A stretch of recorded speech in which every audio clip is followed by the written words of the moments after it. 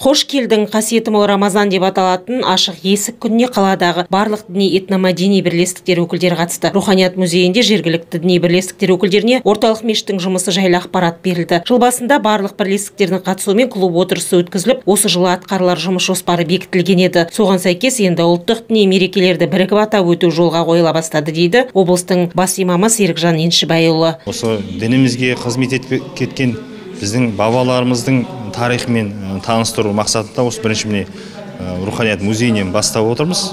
Сонымен қатар жалпы жақын сұхбаттасып бір бірімізді жақыннан тану барлық діндердің мақсаты бір барлығы былай айтқанда құдайға құлшылық етеді барлығы осы татулықты ынтымақты мақсат етеді.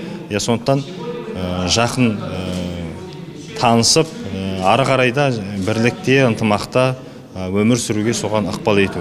Орталық нұрғасыр мешітінде өткен діни бірлестіктер өкілдерінің кездесуінде мешіт имамдары рамазан айының ерекшеліктері туралы айтып берді. Өзге діни ұйымдардың өкілдері де діндер арасындағы татулық тақырыбында әңгіме өрбітті. Қазақстан мұсылмандар діни басқармасының хабарлауынша биыл рамазан айы 29 күнге созылады. 23 наурыз оразаның алғашқы күні. Қасиетті қадір түні сәуірдің 17-сінен 18-іне қараған түн. Раушан сейсенбаева жасұлан жұбай тәулік.